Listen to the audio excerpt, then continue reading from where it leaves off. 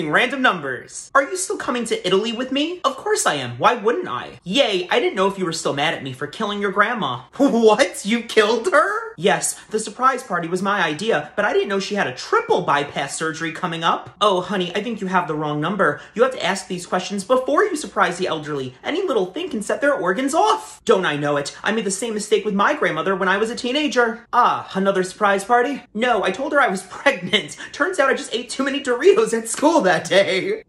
You need to be more careful. I was stressed out. I had a difficult exam and Doritos were the only thing that calmed me down. Not the Doritos. You need to be more careful with how you present information to grandparents. I wish I could say I accidentally killed only two grandparents in my lifetime, but that would be a lie. Oh my heavens, who else's grandmother did you kill? This one was my friend's grandfather. At my college graduation party, I wore a red dress three sizes too small. Let's just say the poor old man's heart didn't see me coming. Oh my, this conversation was great, but I have to go. I'm visiting my grandfather at the nursing home today. Can I come with you? Absolutely not. Please follow for more.